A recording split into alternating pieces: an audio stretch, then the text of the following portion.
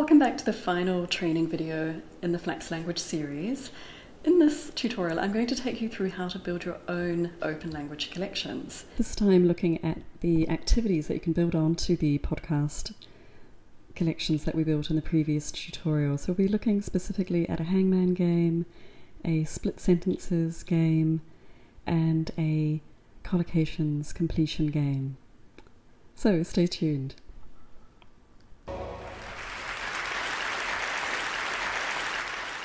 The future, as we know, is very unpredictable.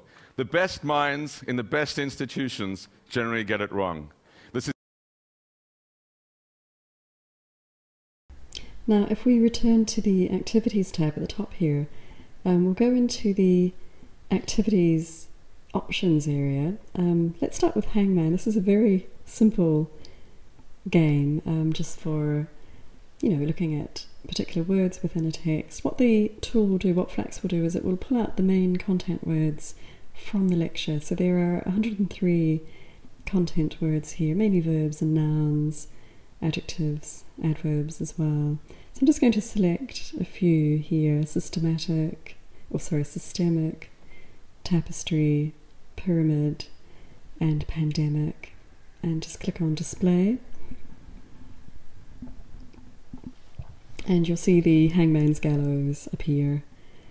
So you just go through and select letters and play the game of hangman. So very, very simple entry level type of activi- activity.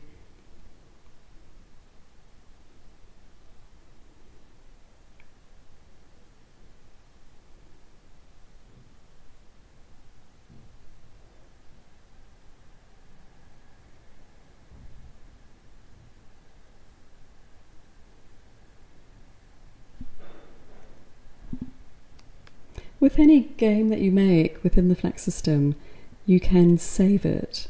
So it'll be there um, for yourself and for other users to use later. Let's return to the Activities tab and select a different type of activity. Um, now we're going to move on to split sentences. So um, with the same lecture transcript, uh, what we have here is the ability to pull out sentences and then split them. So we're just going to call this demo once again. Um, there are 63 sentences selected.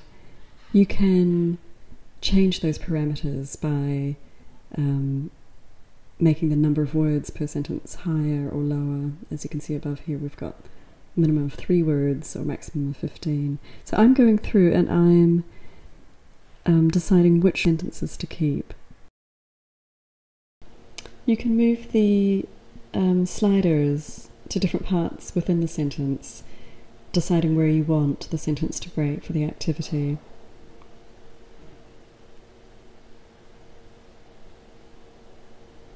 Okay, and once again, just deciding which sentences you're going to keep and which ones you're going to deselect by clicking on the Remove Sentence button. So when you're ready, just go down and click on Display and this will bring up the split sentences activity.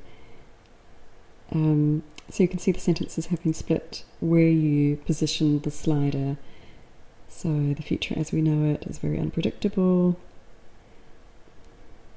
The best minds and the best institutions generally get it wrong. Taken from the first sentence of Ian Goldin's talk. We've seen it in the pandemic flu, We've seen it in the financial crisis.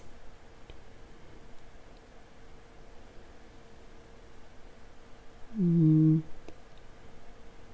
A lot of this is driven by what's happening in technology. Finally, you can check once you think you've got them all done. Okay, so you can save this as well. And then returning to the activities area, you can go on to select a new activity and create a new activity for your students or for yourself.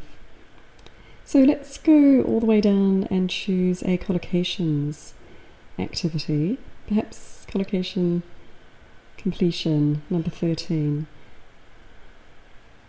Okay, so you can see here in the middle grey area you have all of the collocation patterns and notice how the numbers here change according to which pattern you select.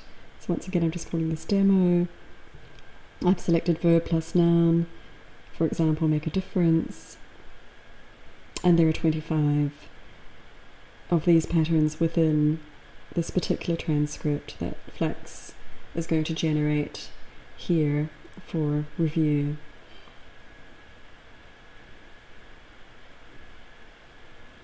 So if we just scroll down, we can see the um, collocations that have been highlighted.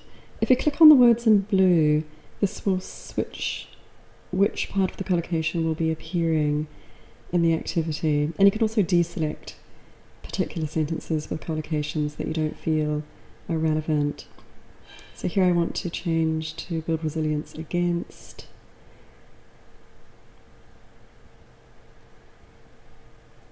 here, create huge opportunities. I'm going to make opportunities the, the word that I want to be guessed.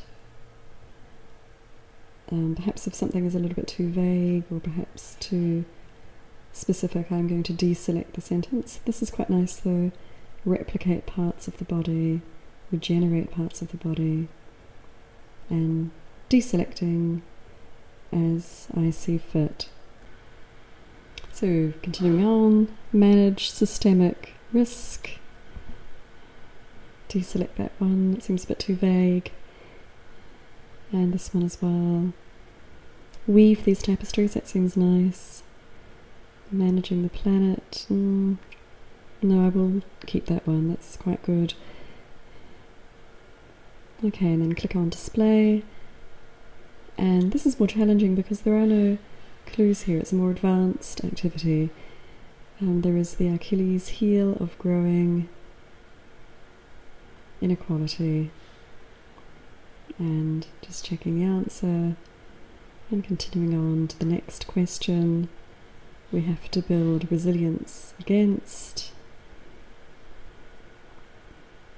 Next question.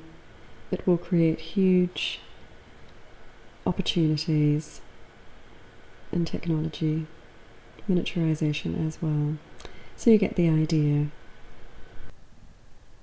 So, returning back to the main collections area, when you're ready, you can move your collections in the under construction area up to the finished collections area. So, I'm just going to shift the financial crisis lectures collection that I've been building up into the finished area and this is going to appear actually on the website, the Flax website. So now your collection is an open collection of language resources that other people can use.